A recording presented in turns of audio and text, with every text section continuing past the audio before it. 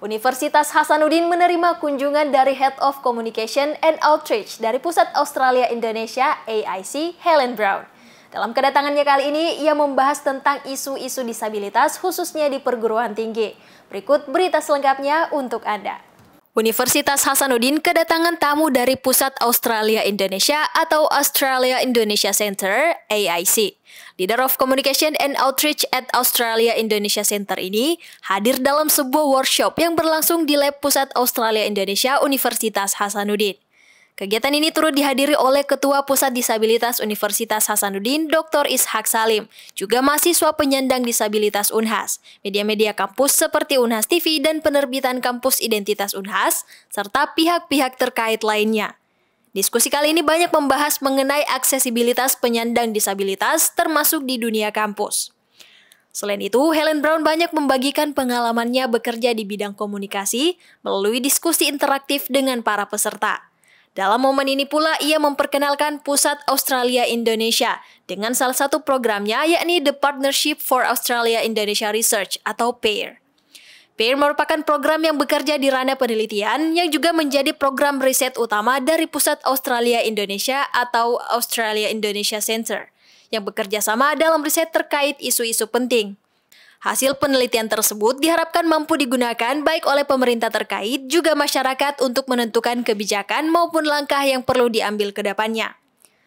Kolaborasi ini melibatkan 11 universitas, tujuh di antaranya berasal dari Indonesia, yakni Institut Pertanian Bogor, Institut Teknologi Bandung, Universitas Gajah Mada, Universitas Indonesia, Universitas Erlangga, Institut Teknologi 10 November, serta Universitas Hasanuddin, sebagai satu-satunya perguruan tinggi dari Sulawesi, sedangkan empat lainnya berasal dari Australia. The Partnership for Australia Indonesia Research is the main research project of the Australia Indonesia Centre. We bring together researchers from Indonesia and Australia to work on important issues that affect local communities and create, investigate issues and create evidence so that governments and communities can make informed decisions about what to do next. Uh, every research project has a co-lead from an Indonesian university and an Australian university. And we work with 11 universities in total.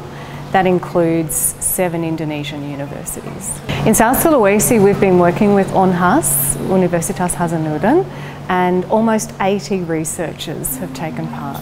There have been four main themes.